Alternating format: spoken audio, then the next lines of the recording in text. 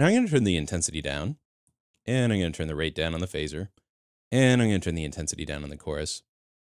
And that's it. No, it's not it, actually. Um, most of the EV series synths have a lot more going on under the hood than you would imagine. So let's look under the hood. Go to the little open disclosure triangle here on the left-hand side. And look at that. We have some more effects available to us. Since it's not a sample that's playing back, this is an actual model. So on the left, we have times. So the decay, if we want it to decay really quickly when I hit a note, I pull my decay down. So it's decaying really quickly. Now I'm going to turn my decay back up.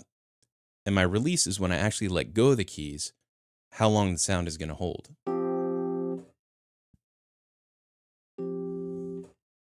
Fairly subtle as releases go, but turn it up, and it really rings for a while. Now let's go to the volume. The bell-like tone that we can get out of an electric piano, we can adjust that bell-like tone here. More bell, less bell. And how about the damper? The damper is, is essentially the sound that happens when you let go of the keys. If I turn this way up, it's very pronounced. So that's pretty cool. And then we have sort of our stereo image. So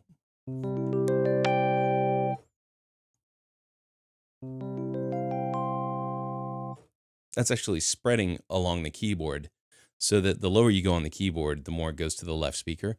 The more that you go up the keyboard or up in pitch, uh, the more it's going to spread to the right. So next to that knob, we have our stretch area. Now, what is stretch about? Okay, well, if we turn this one to full, then it's going to actually detune the keyboard slightly as we go into the lower register.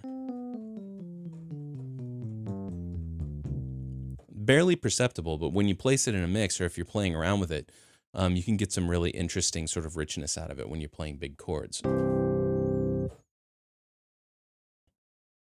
The upper stretch just does the opposite. Basically, if I go up to full, then as I go up the keyboard, it's going to slightly tune the keyboard up from uh, standard tuning. Once again, very subtle, but it's a nice addition to our model. Then we have something called warmth. Actually, it's a randomization of pitch. That every time you hit a key, it's just slightly different. Kind of like a real electric piano. If you're digging on it for a long time and you're playing a lot, um, the tines are slightly out of tune.